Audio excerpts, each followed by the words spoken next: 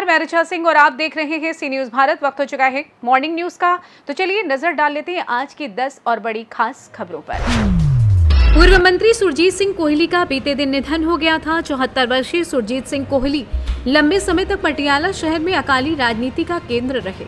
बता दें कि उनका अंतिम संस्कार आज यानी इकतीस अगस्त सायं चार बजे वीर जी शमशान घाट राजपुरा रोड पर होगा हरियाणा राज्य में स्थित सभी राजकीय एवं निजी औद्योगिक प्रशिक्षण संस्थानों में रिक्त सीटों के प्रति तत्काल प्रवेश आज यानी इकतीस अगस्त तक प्रतिदिन संस्थान स्तर पर किया जाएगा। बता दें कि साथ ही नए आवेदन भी दाखिला पोर्टल www.admission.iti.haryana.gov.in पोर्टल पर आज तक भरे जा सकते हैं। आज यानी इकतीस अगस्त को ज़िले में 132 केवी विद्युत ग्रिड के लाइन मेंटेनेंस कार्य के कारण कुछ क्षेत्रों में बिजली आपूर्ति बाधित रहेगी। बता दें कि इस दौरान बिजली विभाग ने सुबह 10 बजे से शाम 4 बजे तक बिजली सप्लाई बंद रखने का निर्णय लिया है। कस्बे में आज यानी इकतीस अगस्त से 4 सितंबर तक अड़सठवीं जिला स्तरीय वॉलीबॉल प्रतियोगिता शुरू होने जा रही है। आपको बता दें कि प्रतियोगिता की तैयारियाँ भी लगभग पूरी कर ली गई है। श्री वर्धमान स्थानकवासी जैन श्रावक संघ व अम्बेश सौभाग्य नवेवक मंडल के संयुक्त तत्वाधान में आज युवा शिरोमणि कोमल मुनि महाराज के जन्मदिन पर रक्तदान शिविर का आयोजन किया गया है। आपको बता दें, रक्तदान शिविर आज नया बाज़ार स्थित महावीर भवन में लगेगा।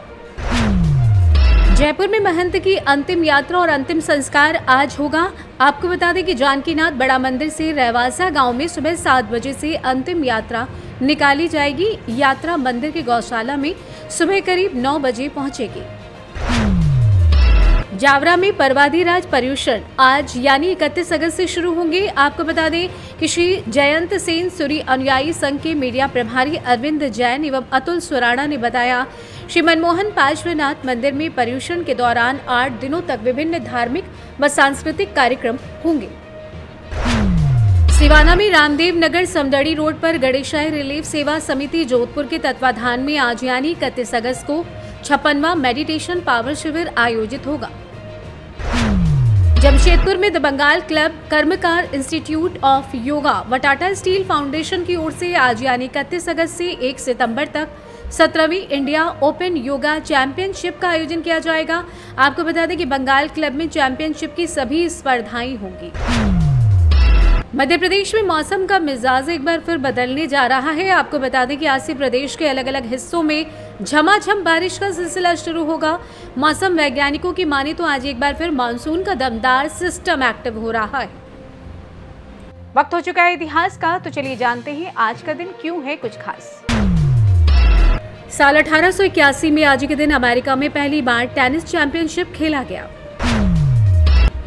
साल उन्नीस सौ तिरानवे में आज के दिन रूस ने लिथुआनिया से अपने आखिरी सैनिकों को वापस बुलाया। साल उन्नीस सौ बासठ में आज के दिन कैरेबियाई देश टोबैगो एवं त्रिनिदाद ब्रिटेन से स्वतंत्र हुए। साल उन्नीस सौ बासठ में आज के दिन एक प्रसिद्ध राजनीतिज्ञ पल्लम राजू का जन्म हुआ। साल उन्नीस सौ पंचानवे में आज के दिन पंजाब के भूतपूर्व मुख्यमंत्री बेअंत सिंह का निधन हुआ था। न्यूज़ में बस इतना ही। देश दुनिया की तमाम खबरों की जानकारी के लिए आप देखते रहिए सी न्यूज़ भारत। हर खबर आपके साथ, आपके हाथ।